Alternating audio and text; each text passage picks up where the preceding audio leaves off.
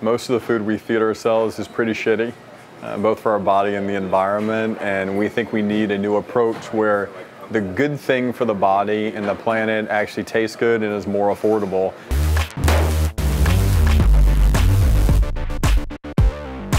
What happens when you apply modern science and big data to innovation in food? Let's see what Hampton Creek is up to. We're trying to figure out, you know, how can we build a food system that's actually going to work for everybody everywhere to feed 10 billion, 11 billion, 12 billion people that the world is going to be trying to support uh, not that too far in the future. And that means making it more efficient, making it more sustainable, uh, making it more humane. We're approaching that by surveying this world of, of plants to try to understand where are there plants that we're not using as food today, but could potentially help us greatly improve the food system. If you think about it, there are at least 400,000 extant plant species. Uh, each one of their proteomes is anywhere from about 45,000 proteins per proteome. So our search space, the lower bound, is about 18 billion different plant proteins. You know, we can't build 18 billion cakes or make 18 billion mayonnaise, so how do we go out and evaluate, you know, what proteins we should take a look at and whether they would have some function in our food application. What we came up with is kind of a, a combination of uh, data science, uh, high throughput biological screening, and uh, model system, food model system making.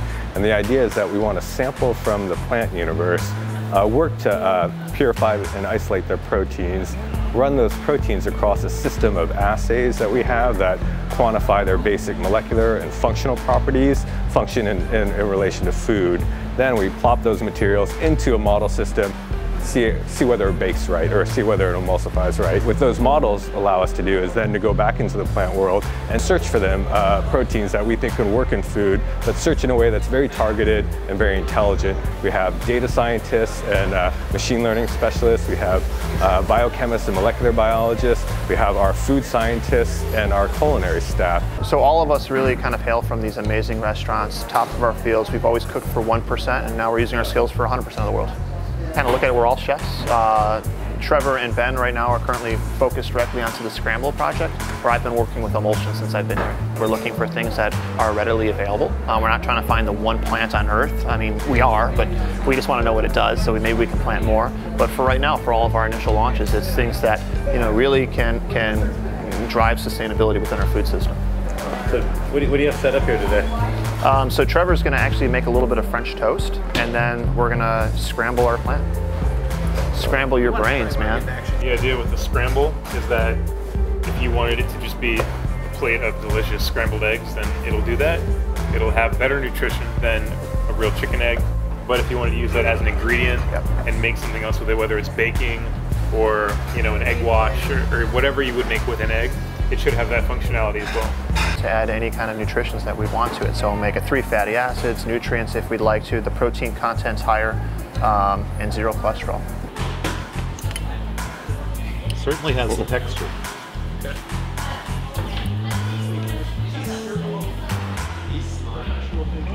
It definitely has the right feel, has the right texture. It, uh, it has the right moisture as well.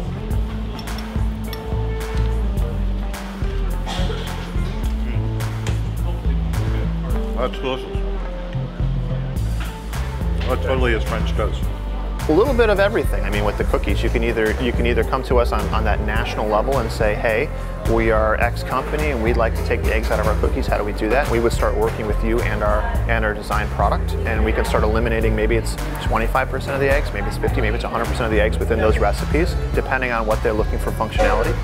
Let's look at food that's made. What are their ingredients? What do those ingredients provide? Can we find a healthier, tastier, more sustainable ingredient to replace that with? In a way where most people won't even know. We don't want pe most people to think I'm doing something because they care so much about the world. We want most people just to eat it because it tastes damn good, it's an affordable thing, um, and that's how we think we actually change things.